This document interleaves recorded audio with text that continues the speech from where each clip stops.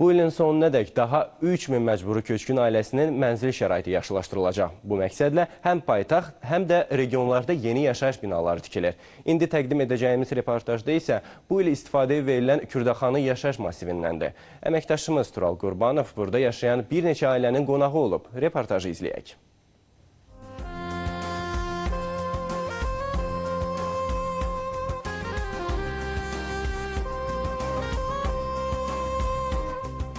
Hazırda Kürdəxanı yaşayış kompleksində 810 ailə məskunlaşıb. Burada təkcə məcburi köçkün ailələr deyil, eyni zamanda şəhid ailələri və Qarabağ əlləri də var.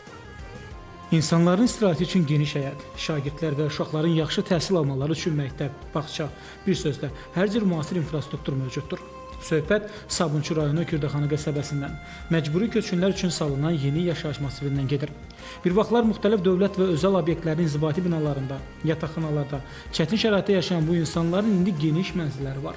Elə Zəngilan rayonundan məcburi köçkün düşən Hüseyevlər ailəsi kimi.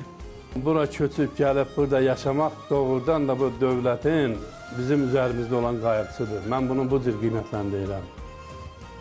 Çox yaxşı şəraitdə, çox gözəl şəraitdə hər cür təminatımız var burada. Üç uşağı dövlətin sayəsində oxutmuşam orada. Üç uşağın üçü də institut bitəcib. İndi işlə, düzdür, işlə hamısı təmin olunubdur, işləyirlər. İşlərimiz də yaxşıdır, şükür Allaha. Dolanışacağımız da yaxşıdır.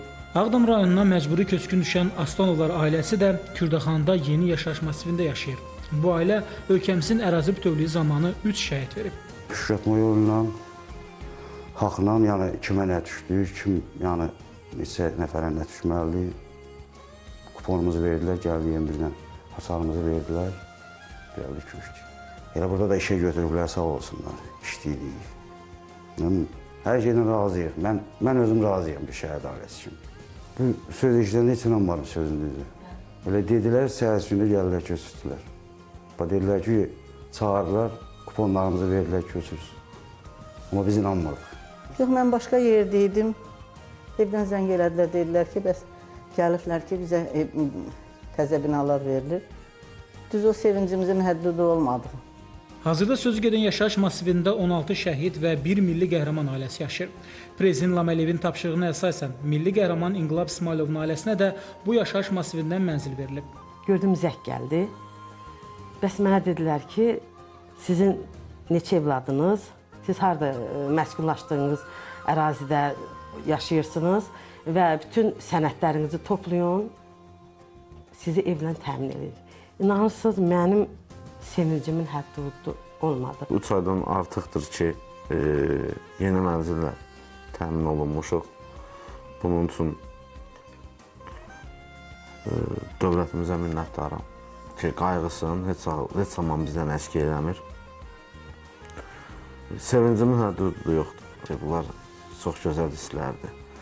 E, əgər insan həmişə qayğı və diqqət mərkəzindədirsə, demək ki, bunlar həmişə yaxşı hisslər olmalıdır, yaxşı hisslərdir. Məcburi köçkünlərin mənzil, məişət şəraitinin yaxşılaşdırılması istiqamətində işlər davam etdirilir. Ötən il təməli qoyulan 1300 mənzilli Qobu Park 2 yaşayış kompleksinin inşası artıq başa çatmaq üzrədir. Avqustun 26-sında Beyləqanda 146 məcburi köçkün ailəsi üçün istifadəyə verilmiş yeni qəsəbəyə məcburi köçkünlərin köçürülməsi isə davam edir.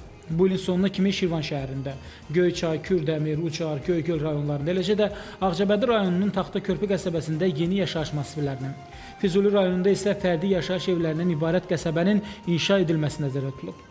Tural Qurbanov, Vüsal Nəsirov, xəbərlər.